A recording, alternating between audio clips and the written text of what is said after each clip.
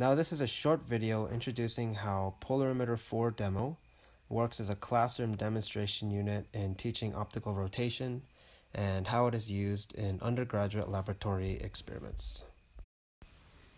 The unit is made of 100% aluminum and comes in a styrofoam case, which includes a dim adjustable power adapter, a polarimeter body, a top cap pointer, a beaker, and a chiral sample compound.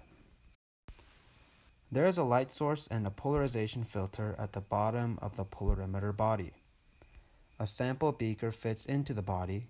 Then, the top cap pointer that has another polarization filter sits on top. The sharp pointer shows the degrees of optical rotation. Now, let's take a look at how Polarimeter 4 demo works as a classroom demonstration unit. Polarimeter 4 demo is designed to work with any kind of classroom document camera, so optical rotation can be directly visualized on a screen. The polarimeter is assembled in such a way that when the pointer is at 0 degree angle, the two polarization filters are perpendicular, making the light unable to pass through. As a result, it is dark when you look inside the polarimeter. However, when the pointer sits at a 90 degree angle, the two polarization filters become parallel. Therefore, light passes through and as you can see, the center of the polarimeter is bright. With the control, it is dark at 0 degree and gets brighter with rotation. It gets brighter when rotated in either direction. The angular window that shows the dark color is very narrow and makes it easy to monitor optical rotation.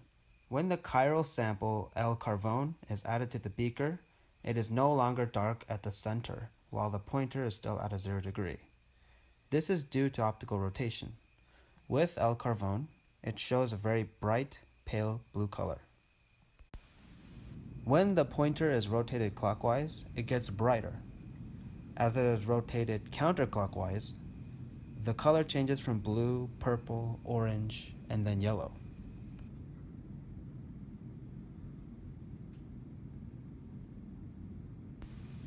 The darkest point is when the pointer is at about a negative 30 degree.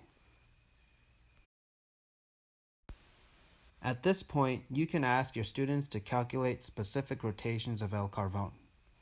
After this, you can use a mixture of two enantiomers to discuss the optical purity of the mixture.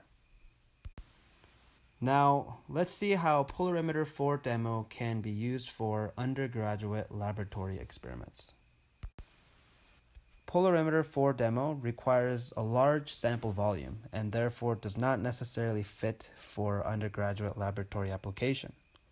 However, a test tube holder insert that fits into the sample chamber allows the measurement of optical rotation using a small sample volume. With the control, the polarimeter shows a dark color at a 0 degree angle.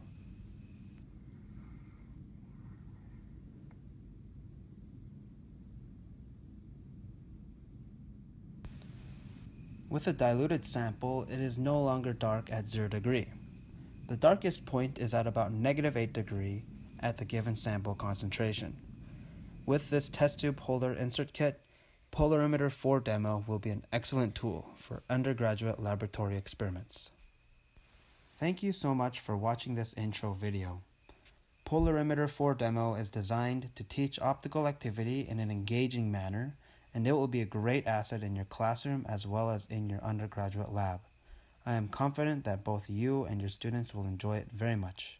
Engage and inspire.